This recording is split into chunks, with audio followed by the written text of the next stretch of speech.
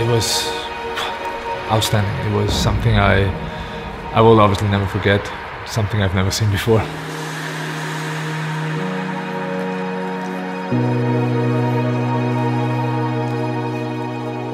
Eh, you know, I still have to smile thinking about it. I mean, now 5,000 to 1, it makes us very proud. This is something that will always be in the history books and is the biggest achievement, sporting achievement.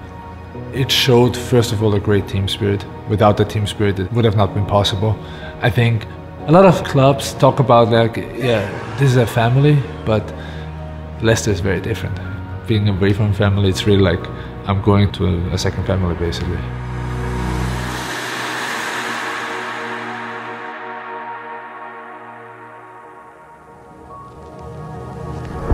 talking about the year after we won the Premier League, everybody was like, okay, that's a fluke. There are always people that don't want to wish you well, and those are very loud the second they see, okay, something is not working as good as it was last year. And look, our expectations, even in the, the season when we when we won the Premier League, it was not winning the Premier League. It was just trying to get out of it as much as possible.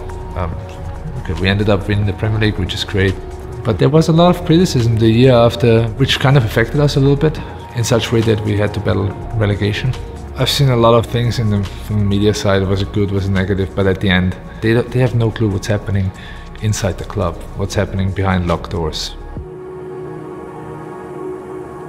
As fit as we are and as much as we play, but the body can only take so much, right? And with all those personal things that everybody has a family. I have three children, so you also worry about the children. You also want to help support them. And if, if my child is sick, then I'm worried. And it should not affect my job, but it, it can affect my job. You know, I came to Leicester and I promised my wife, and thank God she is very forgiving, uh, that this would be my last contract and I'm coming home. So I signed for three years. But this is now my second extension that year.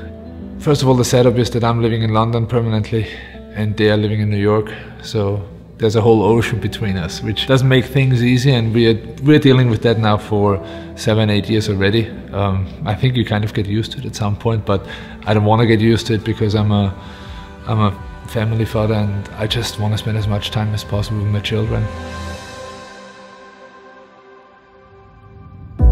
Somehow it was in me to take care of life after my career. I had a business mind, always had a business mind. And I, I always had like, okay, I'm looking for this one thing that I, I want to do, right, besides the football. So the first one was uh, the Fox Soccer Academy that we have, which was in 2014 it is now.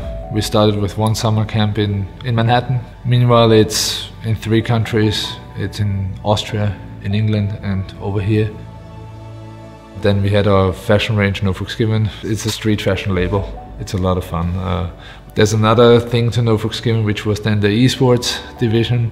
And then we are here, right, at Hudson Sports Complex, which is the latest but probably the biggest endeavor that we took over.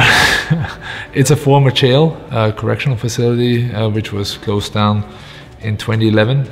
So just recently it was then converted to a sports complex and we took it over and now it's Hudson Sports Complex and big learning process through all the projects that we had, but very happy to make them.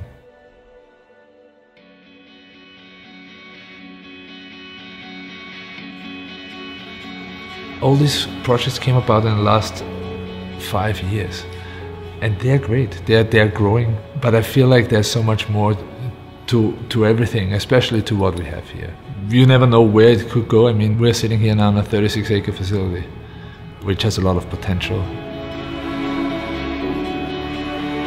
There's still room to improve and hey i'm still playing football and all this is my future career that's still ahead of me so still time to go